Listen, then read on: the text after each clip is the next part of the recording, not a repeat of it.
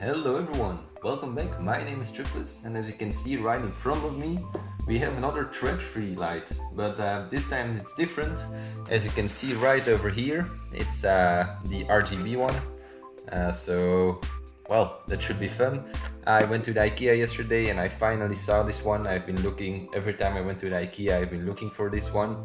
It wasn't in stock here in Belgium for a very long time and yesterday suddenly it was there. So um, well, let's uh, let's try it out. I'm actually going to unpack it and uh, connect it with the app off camera because I've done this a couple of times. I will leave a link in the description or uh, with a card or something like that to, if you want to see an unboxing of one of these lights, but the packaging is exactly the same. Um, the only difference will be once it's actually connected, so I will do everything and I'll be right back with you. Okay guys, so I've added the uh, Tradfri uh, RGB light to my um, well to the app.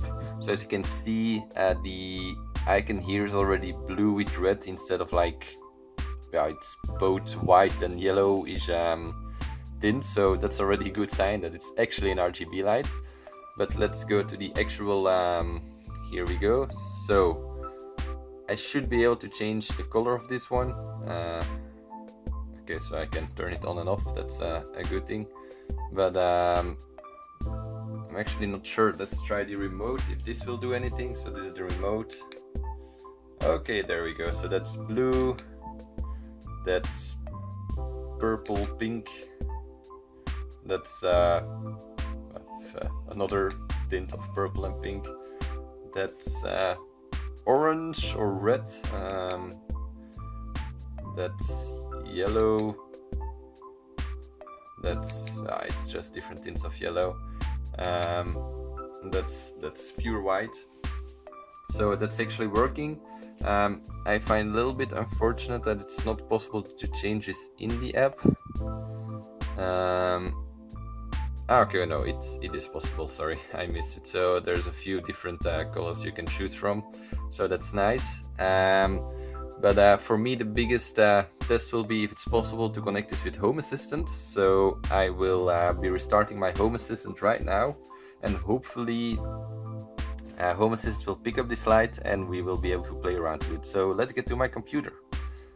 Be right back.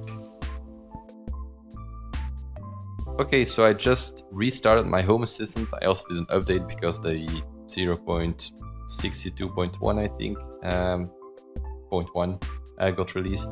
So um, I just did an update, I restarted Home Assistant, and as you can see here, the RGB light is here, and ta-da!